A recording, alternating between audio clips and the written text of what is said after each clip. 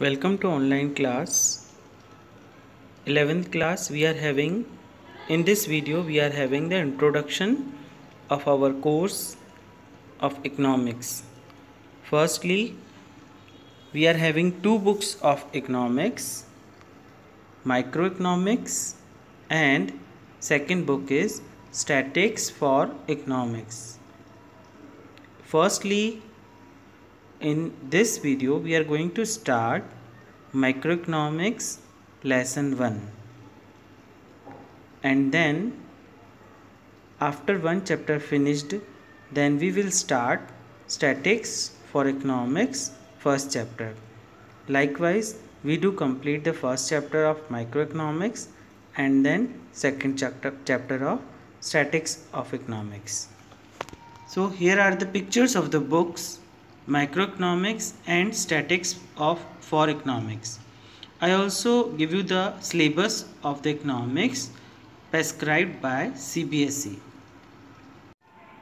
In this video, we are going to study a simple topic scarcity and central problem of an economy. This is the first topic of microeconomics.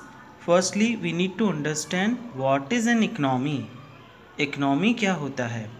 Economy refers to the whole collection of production unit in an area by which people get their living it means economy एक ऐसा collection है production units का, किसी एक area में जिसमें कि लोग उस एरिया में रहकर अपना जीवन यापन करते हैं। इट मीन्स हम सभी के पेरेंट्स किसी न किसी एक्टिविटी में इंगेज हैं इट मीन्स किसी प्रोडक्शन यूनिट में हैं या किसी सर्विस सेक्टर में हैं और अपना लिविंग लाइवलीहुड पूरा कर रहे हैं। आगे बोला है all such institutions and organisation which provide people with the mean means to work and earn an income are collectively called an economy it means एक ऐसे इंस्टीट्यूशंस एक ऐसे ऑर्गेनाइजेशंस जहाँ जो लोग, जो पीपल्स को प्रोवाइड करते हैं वर्क इस मीन्स ऐसे ऑर्गेनाइजेशन जो लोगों को काम प्रोवाइड करते हैं और उस काम करने के बिहाफ में लोग इनकम अर्न करते हैं और इस सबको ही एक साथ इकोनॉमी कहा जाता है। Next topic we have positive and normative economics. Positive economics, first पहले हम पढ़ेंगे।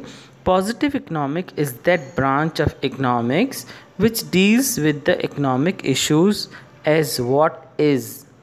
It means हम यहाँ पर ऐसे इश्यूज़ को पढ़ेंगे, ऐसी बातों को पढ़ेंगे जो जिन, जिन्हें हम वॉट इज़ के मैनर में पढ़ते हैं।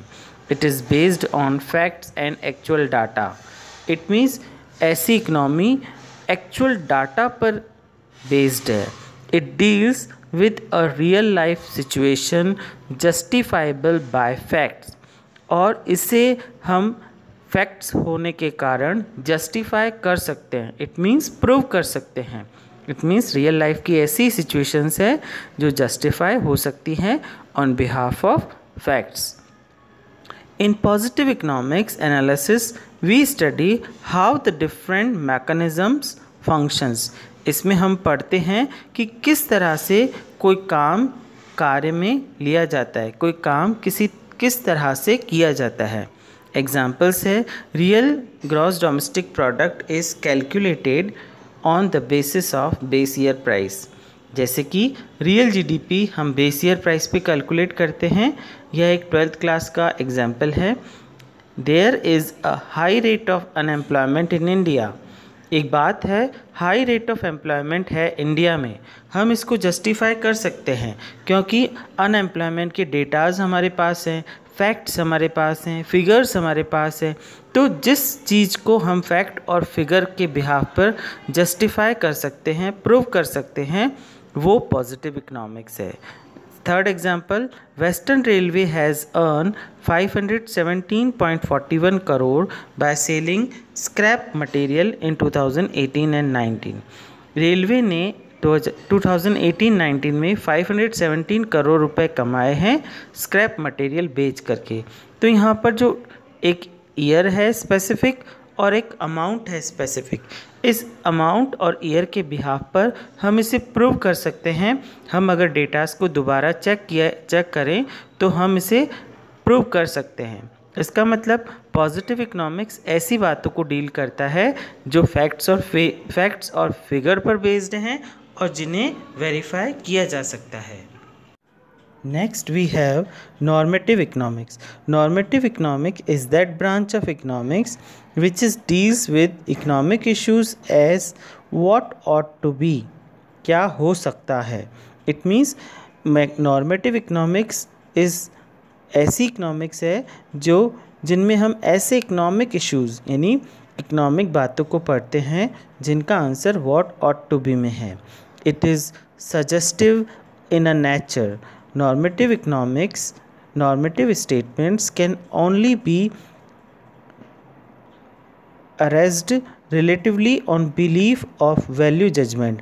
यानी ऐसी बातें जिन पर वैल्यू जजमेंट दिया जा सकता है।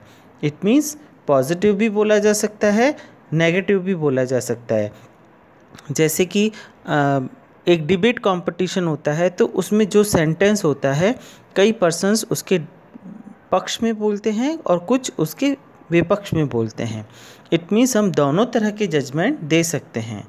In normative economic analysis we can we try to understand whether the mechanisms are desirable और not it means normative economics में हम ऐसे स्टेटमेंट को आ, सही और गलत दोनों ही बता सकते हैं। For an example the an unemployment rate should be reduce unemployment rate कम होनी चाहिए। या कम हुई है। इसको हम दोनों पक्ष में बोल सकते हैं। The second is the government should decrease its own expenditure and increase taxes to reduce the rate of inflation यानी बढ़ी हुई कीमतों को रोकने के लिए गवर्नमेंट को अपने एक्सपेंडिचर कम करने चाहिए और टैक्सेस बढ़ाने चाहिए। या third is the government should promote social safety nets to take care of poor poor population यानी गवर्नमेंट को सोशल सेफ्टी नेट्स बनाने चाहिए ताकि पुअर पॉपुलेशन का ध्यान रखा जा सके। इट मीन्स हम कुछ ऐसी बातें हैं जिनको हम पक्ष और विपक्ष दोनों में बोल सकते हैं। फॉर एन एग्ज़ाम्पल अभी करोना टाइम चल रहा है। We can say that government can control corona in the upcoming years तो कुछ इसके पक्ष में बोलेंगे और कुछ इसके विपक्ष में बोलेंगे।